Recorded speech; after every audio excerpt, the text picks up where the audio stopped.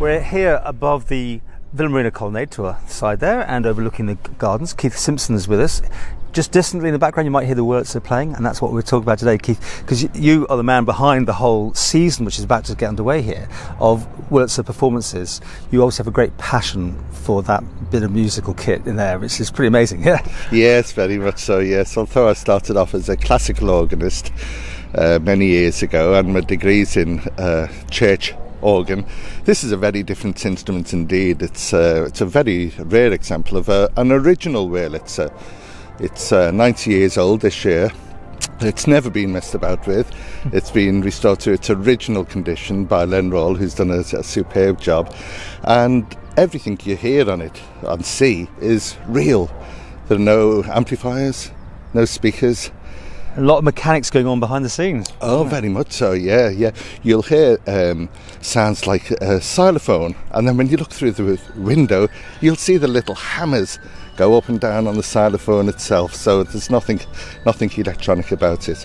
So this season starting of, of concerts, which you organise, I know you're on yourself quite a bit, and you've got people coming in and all sorts of stuff, haven't you? Yes, that's right. Yes, I, I myself am doing one concert on the 10th of uh, July at one o'clock here. Uh, the free concerts, the charity concerts in aid of local charities, and each of the organists have been asked to choose a charity for themselves.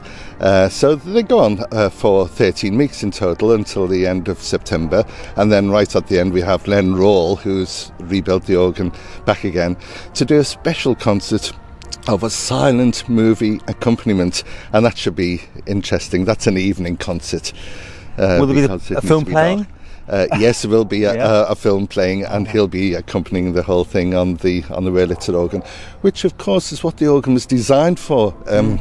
Very often people equate the Wurlitzer organ, don't they, with the sound of Blackpool Tower Ballroom. But we tend to forget that it wasn't really designed for a ballroom or for, for that sort of dancing.